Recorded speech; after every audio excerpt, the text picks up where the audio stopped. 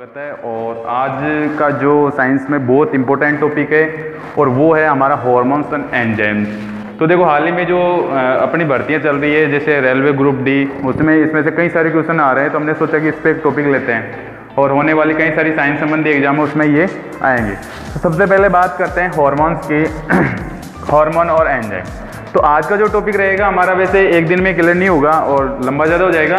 इसलिए पहला जो टॉपिक पढ़ेंगे, हम हॉर्मोन्स के बारे में पढ़ेंगे। हॉर्मोन्स क्या होते हैं? तो सबसे पहले बात करते हैं हॉर्मोन्स जो होते हैं, इन्हें हम अंतरस्त्रावी ग्रंथियाँ बोलते हैं, क्योंकि ग्रंथियाँ दो प्रकार की होती है, एक तो बाह्यस्त्रावी और एक अंतरस्त्रावी। तो अंतरस्त्रावी बोलते हैं, इसलिए इससे सबसे पहले बात करते हैं आंतरिक हॉर्मोन्स की बात करेंगे। तो इन्हें अगर सिस्टम बोलते हैं एंडोक्राइन बोला जाता है। एंडोक्राइन अंदर और क्राइन यानी जो अंदर ग्रंथियाँ होती है इन्हें एंडोक्राइन बोला जाता है। और अब बात करते हैं, एक आता है लोजी शब्द। लोजी शब्द हमेशा अगर यूज़ होता है तो ये अध्ययन के लिए यूज़ होता है। लोजी का उपयोग अध्ययन के लिए किया जाता है तो एंडोक्राइन है तो एंडोलॉजी हो जाएगा, यानी एंडोक्राइन एंडोलॉजी उसके बाद में बात करते हैं एंडोक्राइन सिस्टम यानी हार्मोन तंत्र जो होता है, इसको एंडोक्राइन सिस्टम बोलते हैं। आगे बात करते हैं कि सबसे पहले हार्मोन्स का पता किसने लगाया? तो एक वैज्ञानिक आते हैं, उनका नाम है एडिसन। सर एडिसन तो एडिसन को हार्मोन्स का, father of Addison in hormones. Hormones का पिता कहा जाता है, एडिसन को। अब बात करते हैं सबसे पहले जो हार्मोन की खोज की गई थी, प्राकृतिक हार्मोन्स की। तो सबसे पहले बात करते हैं कि प्राकृतिक हार्मोन्स में जो खोजा गया था, वो था हमारा सिक्रिटिन, और वो एडिसन के द्वारा खोजा गया था।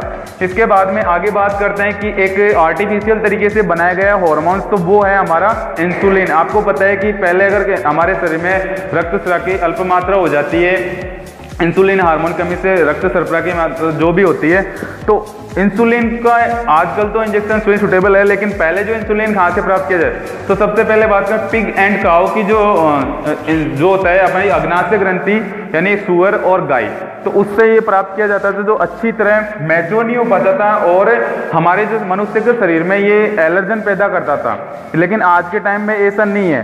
तो सबसे पहले बात करते हैं, आज के टाइम में इसे कई विदेशी कंपनी बना, बनाती है इंसुलिन को। और इंसुलिन जो सबसे पहले इंसुलिन की खोज की थी, उन व्यक्ति का नाम है बेटिंग और बैन दो व्यक्ति आए थे उन्होंने कृत्रिम तरीके से इंसुलिन की खोज की थी।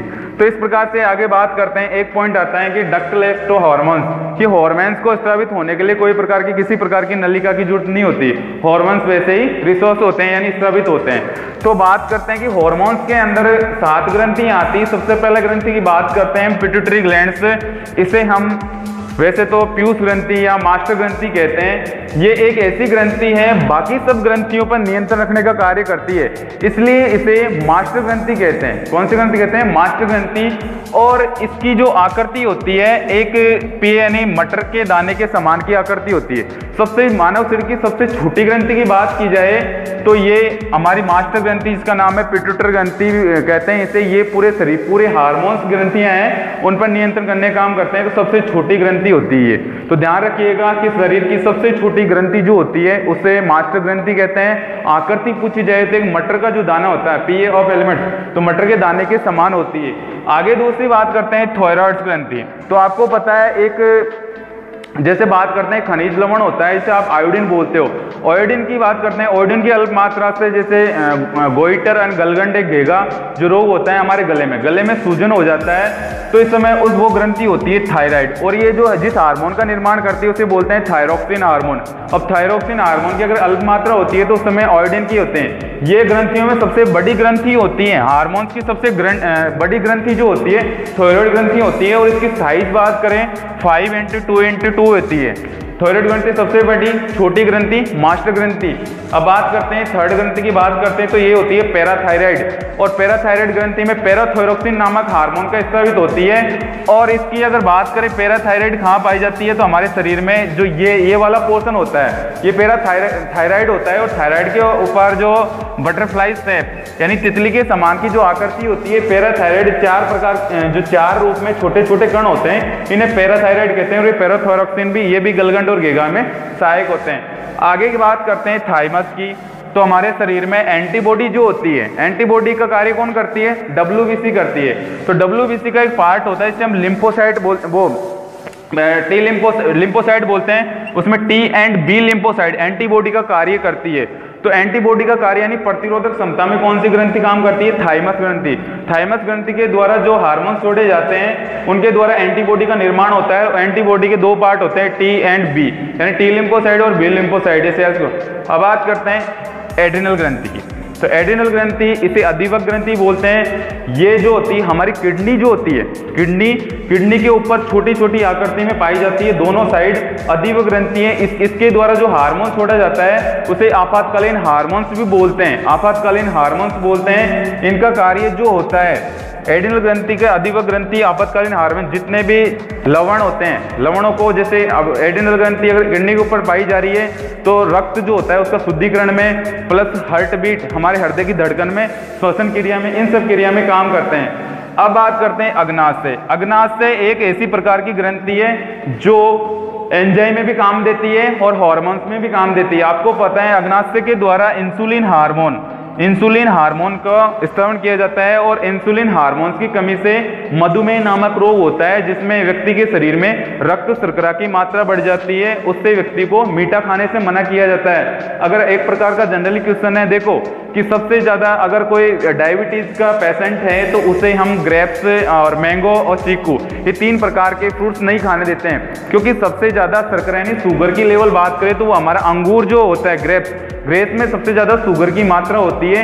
इसलिए अगर कोई इंसुलिन की अल्प मात्रा, यानी मधुमेह का रोगी है तो उसे अंगूर नहीं खिलाया जाता है, क्योंकि उसमें शर्करा की मात्रा ज़्यादा होती है, यानी शुगर की मात्रा। इसलिए अब आगे बात करते हैं अग्नाशय तो अग्नाशय कंप्लीट हो गया है कि गोड्स ग्लैंड यानी अब देखो, हमारे मानव शरीर में जो गोड्स ग्लैंड का मतलब है कि अधिवक जो अग्नाशय ये जनन ग्रंथि रिप्रोडक्टिव सिस्टम से संबंधित है तो अंडाणु और वसन इसे अंडाजू और वसन अंडाजू हम के बात करते हैं तो फीमेल में और वसन मेल में। मेल में सबसे छोटे स्पम्स जो होते हैं स्पम्स यानी शुक्राणु का निर्माण करते हैं, इधर इसे अंडाणु का निर्माण करते हैं। तो दो प्रकार के हॉर्मोन्स टेस्टोस्टेरोन हॉर्मोन्स और प्रोजेस्टेरोन हॉर्मोन्स और एस्ट्रोजन टेस्टोस्टेरोन प्रोजेस्टेरोन और एस्ट्रोजन तीनों प्रकार के हार्मोन्स गोड ग्लैंड के द्वारा बनाए जाते हैं। तो इस प्रकार की जो हार्मोन्स है मानव शरीर में, अब एक बात यहाँ पे ध्यान रखना, मैंने पहले ही बताया था कि ducks to less and ductless का मतलब है कि हार्मोन्स को स्थापित होने के लिए किसी भी प्रकार की नलियों की ज़रूरत नहीं पड़ती है, जबकि जो एंजाइम जो होते हैं, इन्हें स्थापित होने के लिए नलियों की ज़रूरत पड़ती है। तो ध्यान रखिए, इसी प्रकार से आज का हमारा एक छोटा टॉपिक था हॉर्मोन्स और हॉर्मोन्स इसके बाद में हम जो कल जिस टॉपिक की बात करेंगे, वो होगा हमारा एंजाइम तो खासतौर से अगर अभी तक आपने हमारे चैनल को सब्सक्राइब भी नहीं किया हुआ है तो सब्सक्राइब करें ताकि हमारा नया से नया वीडियो डाले तो बेल आइकन के साथ में आपको नोटिफिकेशन ज़रूर मिलेगा. इसके साथ बात करते हैं कि हाल ही में चल रही रेलवे ग्रुप डी भर्ती बाकी काफ़ी बेसन जी, उनके लिए खासतौर से साइंस के बेस चलाए जा रहे हैं. तो आप लोग ज़्यादा से ज़्यादा लाइक शेयर और कमेंट करने की, और कमेंट बॉक्स में इतना भी लग देना कि कौन सा टॉपिक पहले क्लियर करें आपको कौन सा टॉपिक चाहिए, उस चीज़ के टॉपिक पे हम देंगे। कल का जो टॉपिक रहेगा, हमारा एंजाइम रहेगा, इसी के लिए एवरीवन थैंक यू